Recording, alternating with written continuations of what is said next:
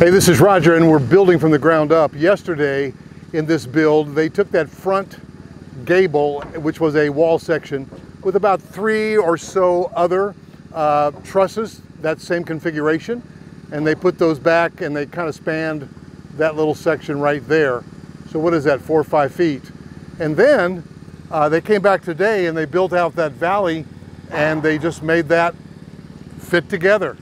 As well as, you may or may not remember, that we took this other front gable uh, member and they took that, which was just kind of sitting on the uh, top of the roof as of yesterday. And then they took that, once they got the roof decking up, they erected that.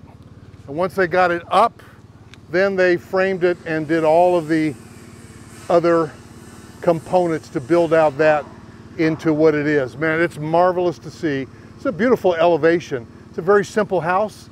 It's a ranch and a half uh, with just that double gable. So it's one of the unique elevations here in this neighborhood. So guys, inside they're working on the coffer.